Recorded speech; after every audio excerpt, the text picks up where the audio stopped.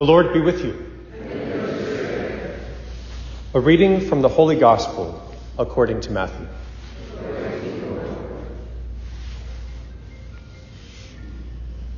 When Jesus saw the crowds, he went up the mountain, and after he had sat down, his disciples came to him. He began to teach them, saying, Blessed are the poor in spirit, for theirs is the kingdom of heaven. Blessed are they who mourn for they will be comforted. Blessed are the meek, for they will inherit the land. Blessed are they who hunger and thirst for righteousness, for they will be satisfied. Blessed are the merciful, for they will be shown mercy. Blessed are the clean of heart, for they will see God. Blessed are the peacemakers, for they will be called children of God. Blessed are they who are persecuted for the sake of righteousness, for theirs is the kingdom of heaven. Blessed are you when they insult you and persecute you and utter every kind of evil against you falsely because of me. Rejoice and be glad, for your reward will be great in heaven.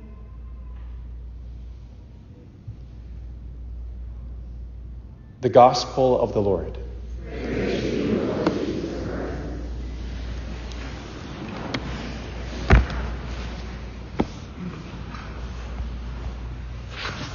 It has been said, no more beautiful, um, no words more beautiful have ever been spoken than the words of Jesus. No more beautiful teaching than these Beatitudes. It's interesting that no one claims that any person who came after Jesus taught or spoke God's truth greater than he. So I I think it's a beautiful gospel to sing, to hear that truth, because these words are beautiful. And to sing them is also beautiful. I mentioned to the choir at the 9:30 mass that as a singer it's also easy to sing this gospel because every line is broken into two parts. So a two-tone chant, pretty easy to do. Not so much with other gospels. A friend of mine on Facebook recently shared a quote said people often say, life is short, so enjoy it. And maybe we, as Christian believers in eternal life, should distinguish ourselves from that mentality. Maybe something like, eternity is forever. Prepare for it. How important it is for us in this life to keep our eyes fixed on heaven, where Jesus promises there for sure we will rejoice and be glad. And yet, how many times, for the children here present, are we so excited about the next thing? Well, let me tell you, children, there's a lot of people in this room younger than me, about my age, and older than me, who understand that you can go through the whole of your life just trying to achieve the next goal, get through the next chapter, and then realize there's still more that I'm longing for. As we begin Catholic Schools Week this week, I want to encourage us, especially who are parents with your children at whatever age, to think about how we desire for them to be happy. Do we think, you know, I want them to have the best chance to get ahead in life? I want them to get into a good school so they can have a good job, make a decent living. I want them to be happy, maybe even have a better life than I had. But all of these thoughts have one thing in common they are solely focused on success in this life. Maybe growing in the wisdom of the world and in power. And we heard very clearly from St. Paul in our second reading today from 1 Corinthians that's not really how God has operated the people he has chosen to be his most effective instruments. In fact, he even delights to choose the foolish, to shame the wise, to choose the weak, so that those who have power in this life realize that there is a greater power at work in the weak and give glory to God.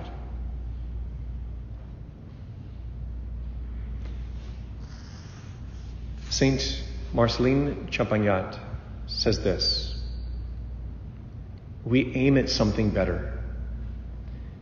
We want to educate children, to instruct them in their duty, to teach them to practice it, to give them a Christian spirit and attitudes, to form them to religious habits and the virtue possessed by a good Christian and a good citizen.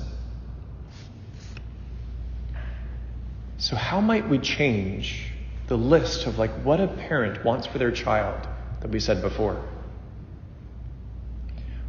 What if we were to make our goal and our greatest desire, I want my child to know God and to live according to faith, hope, and love. I want them to live the truth and witness to it in love to their neighbor. I want them not to seek to get ahead of their neighbor, but to learn to serve their neighbor. I want them to succeed in whatever vocation God is calling them to, not my vocation, if that's not their call, not what I want for their life. And ultimately, I want them to be a saint. I want them to go to heaven and even be a greater saint than I, provided that I still become the saint that I am called to be. It is so counterintuitive to the wisdom of this world. But then again, so are the Beatitudes which we heard proclaimed today. On the surface, they don't seem to make a whole lot of sense. Happy are you when you're persecuted? Happy are the sorrowful. I mean, the word blessed means happy. How is it that the happy are sorrowful? Jesus, didn't you just say that they're sorrowful? Pope Benedict says that we'll never understand the Beatitudes in merely theoretical terms. They have to be lived. And through faith experience lived out, only then can we understand what is at the heart of them. Let's just take one of those Beatitudes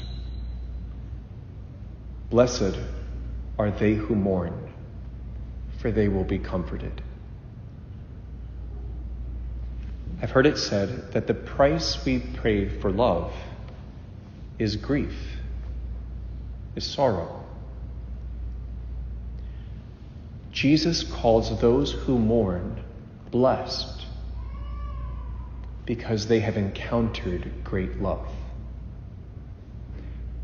And the greater the love they have known in this life, the greater their grief when that love is taken away. But Jesus, who is love incarnate, promises you who have loved, you will be comforted. You will rejoice and be glad in communion with the Holy Trinity and with all his holy ones in the next life. Mother Teresa, um, a more contemporary example of wisdom, also turns the world's wisdom on its head, especially for those of us born and raised here in the United States and others who have moved to this country where we have such a great value, even we idolize freedom as an ultimate virtue. Speaking to a group of parents, Mother Teresa said, Do not teach your children to be free.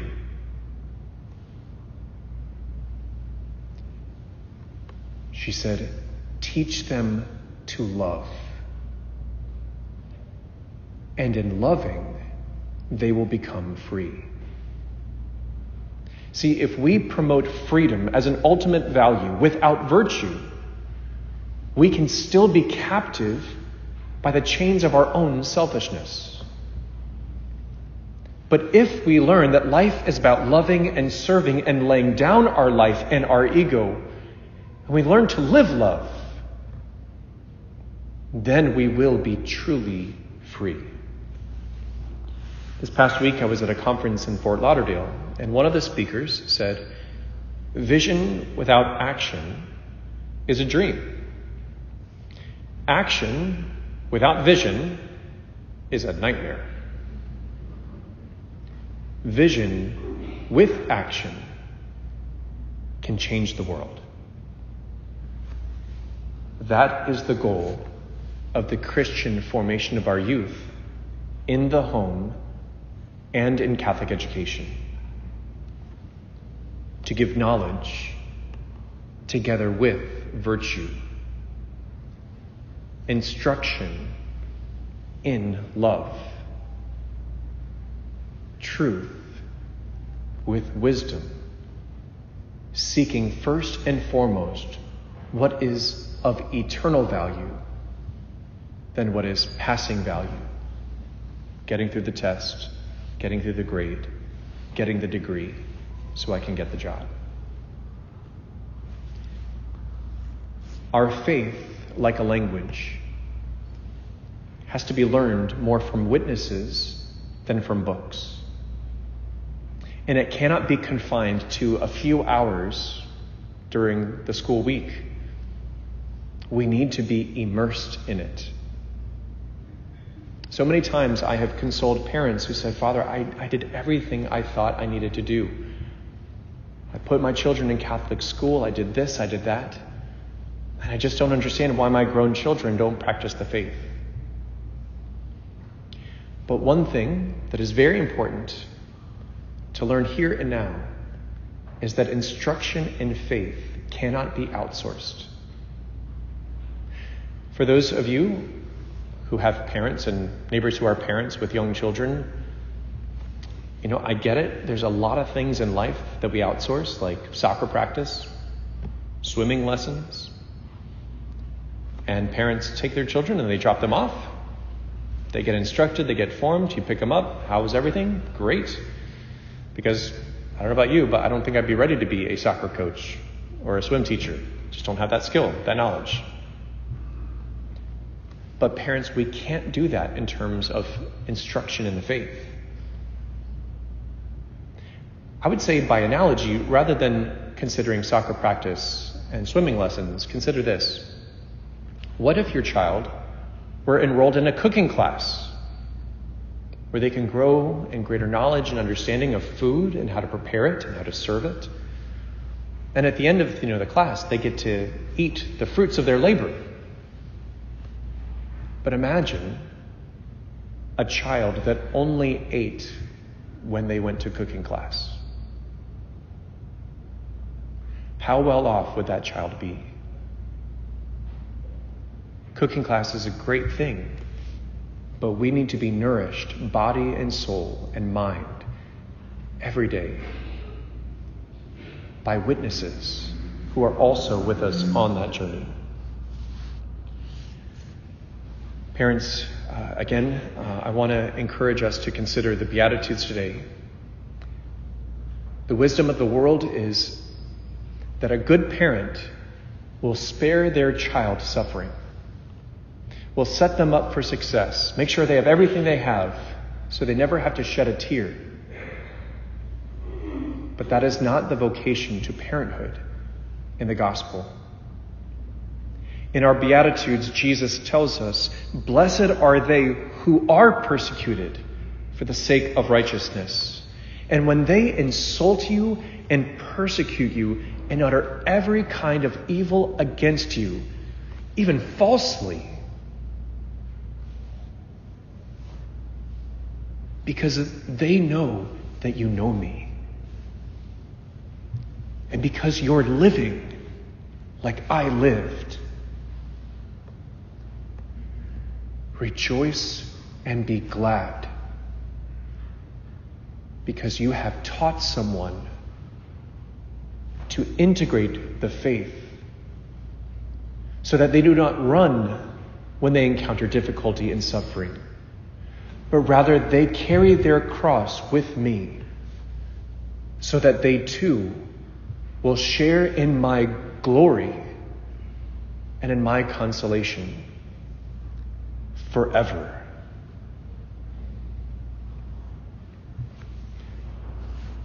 So life is short. That part is true. But rather than living by a maxim, let's make the most of it. Let's enjoy it quickly. It's fleeting. Encourage us today to consider the wisdom of the Beatitudes. Eternity is forever.